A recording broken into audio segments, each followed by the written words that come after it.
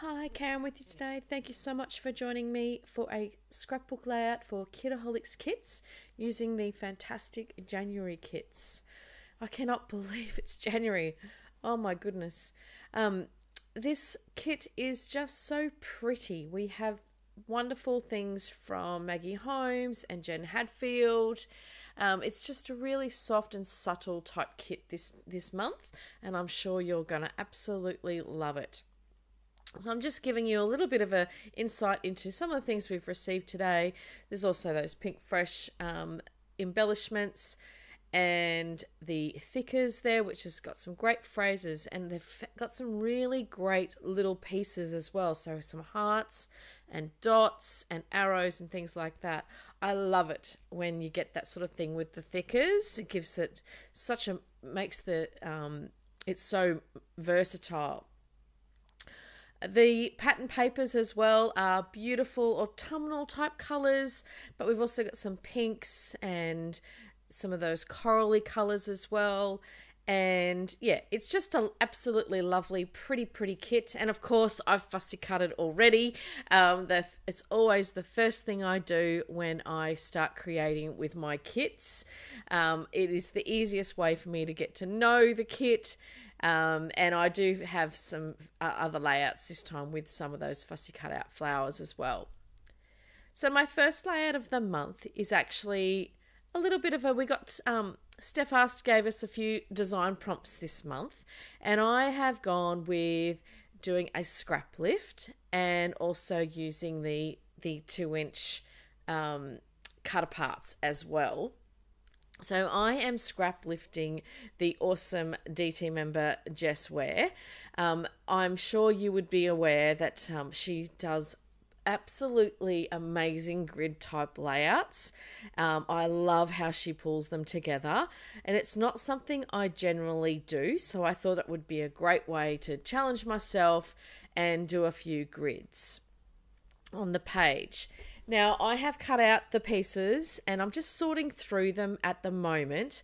There's quite a few of them that have some sentiments that didn't wasn't going to work with my layout.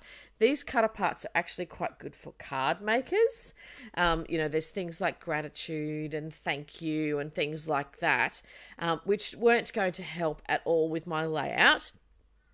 And I've also used, so then I've um, sort of started plotting out a little bit of where I was going to sit them on the page.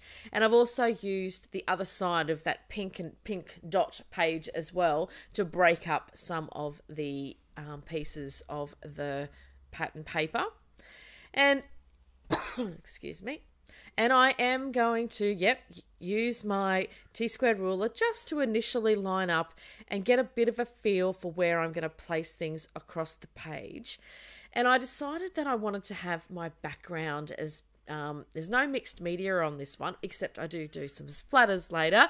Um, but I wanted that background of that pattern paper there is just so so pretty, um, and I thought I'd that give that a really good grounding place for my little squares there around the page.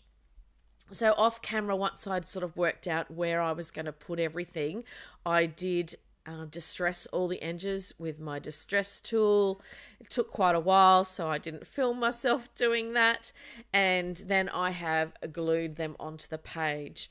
Now, I wouldn't often normally put some of these onto some foam, but I felt that with putting some of the doing doing the actual distressing, I didn't really need to do that, and I have also turned up the the the corners um, around the the squares as well. So I didn't think it really needed it, but I have popped my photo up on some foam, with just some craft foam from Spotlight in the kids kids craft section. Um, it's not in the scrapbooking section. Um, I love that stuff. It's so cheap. It's like five dollars, and you get a heap of it. Um, so yeah, I use that on pretty much every single layout.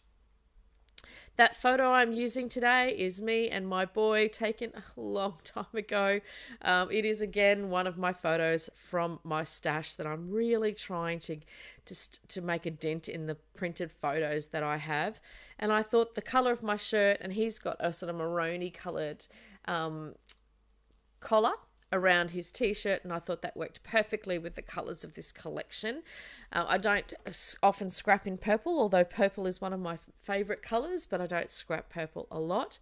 Um, so I thought that was a great opportunity to use some of those purpley colors as well for this layout. I have just decided to use some of those pieces, um, some of the grid pieces, as little embellishment cluster areas. So I've placed that little flower and a sentiment on that one on the left hand side there, sort of that second one up from the bottom. And I've added some butterflies around the page as well. And I, as always, I you know me. If you've been following me or you you um, have following me on Instagram or any of my YouTube videos, I love to put lots of layers around. Um, so I felt that this was starting to look a little bit too, I don't know, uh, not quite like me. Um, and so I, I do end up adding a heap more flowers around the, the photo and the cluster of that photo.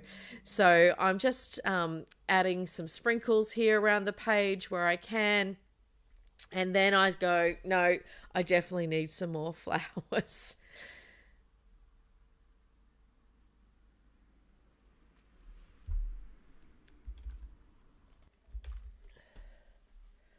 So here I'm adding the additional ephemera and also the fussy cut out flowers as well.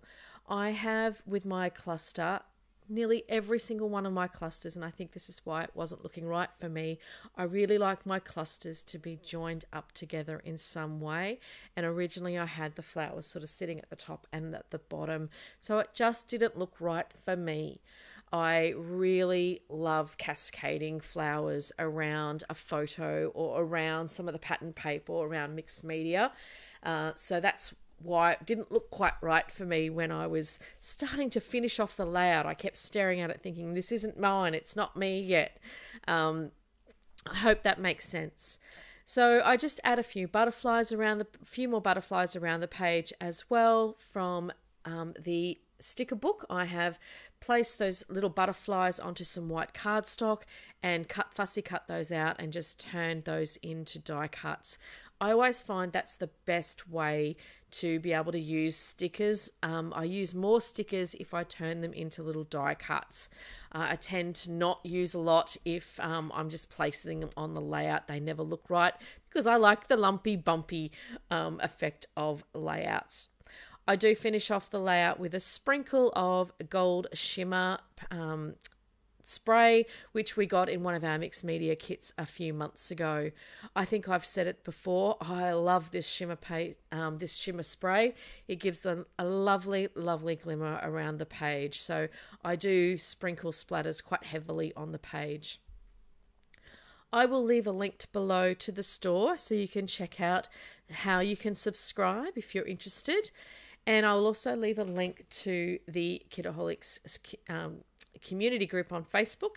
And we would love to see, um, the design team love seeing what you create. So please share into our subbies group as well if you're a subscriber. I've got a few close ups for you. As always, thank you so much for joining me today. Um, and I hope you have a great creating month. Bye for now.